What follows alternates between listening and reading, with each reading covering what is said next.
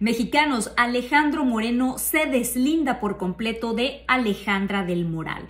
Después de que se hiciera público el reportaje por el periódico inglés The Guardian y en donde se dejara claro que hay un desfalco de 5 mil millones de pesos en el Estado de México y Alejandra del Moral fue parte de la firma de contratos de estas empresas fantasma, Alejandro Alito Moreno dijo el PRI no tiene nada que ver. Si hay algún delito que perseguir, entonces que se juzgue a los responsables. El PRI no es abogado ni defensor de nada. Así de forma clara y contundente pareciera que Alito está dándole la espalda a Alejandra del Moral justo a unos días que llegue la elección en el Estado de México. Mexicanos será que están dejando sola a Alejandra del Moral porque ven muy pronta la derrota. Comentarios.